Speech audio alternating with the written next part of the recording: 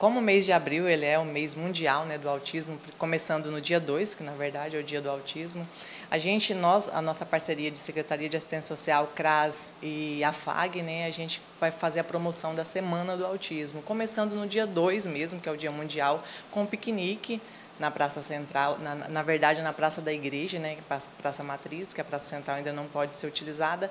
E depois, com o decorrer da semana, teremos outras programações, né? Também a panfletagem que será no dia 4 e finalizando no dia 11, que será lá no Centro de Convivência, uma palestra é, falando sobre o autismo com uma neuropsicopedagoga.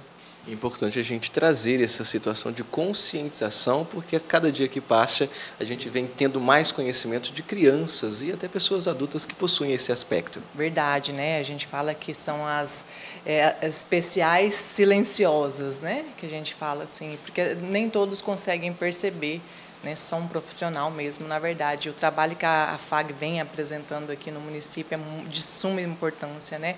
Hoje eles ali têm é, é a fono, tem a, a psicopedagoga, a psicóloga, então são vários profissionais ali para detectar mesmo o autismo. Então, assim, vale muito a pena a população fazer assim, juntar com essa causa para poder abraçar mesmo, para que esse projeto se mantenha, porque por mais que tenha as doações, a parceria da prefeitura, mas é um projeto que, de custo altíssimo, são profissionais excelentes que estão ali, né? então temos que valorizá-los também.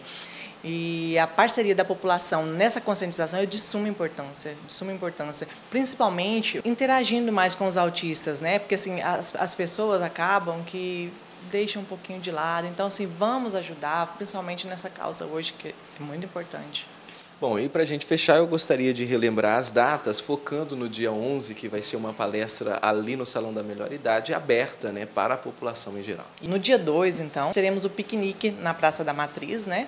É, ali terá as mães autistas, as crianças autistas, o pessoal da assistência. Então, assim, ele é aberto também ao público, quem, quem quiser estar tá indo lá, né? É muito importante também essa participação.